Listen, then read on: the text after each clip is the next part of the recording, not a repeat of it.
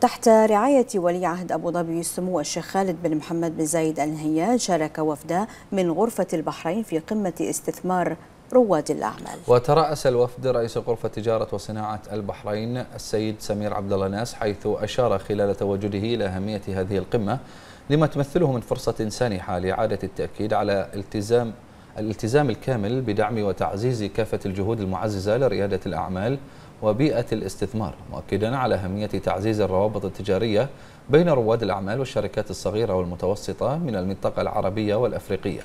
إلى جانب وضع الخطوات العملية التي تساهم في إزالة التحديات والتهديدات والاستفادة من الفرص التي تفتح الطريق نحو التقدم وتحقيق التكامل الاقتصادي فضلا عن توفير منصة لرواد الأعمال والشركات الصغيرة والمتوسطة للالتقاء بهدف تطوير الاستثمارات المشتركة والتعاون وتسهيل التجارة. وتناقش القمة في جلساتها عقبات التمويل التي تواجهها المشاريع الصغيرة والمتوسطة الحجم وكيفية جذب رؤوس الأموال لتمويلها مع الأخذ في الاعتبار أن حوالي نصف الشركات الصغيرة والمتوسطة الرسمية لا يمكنها الوصول إلى الائتمان الرسمي.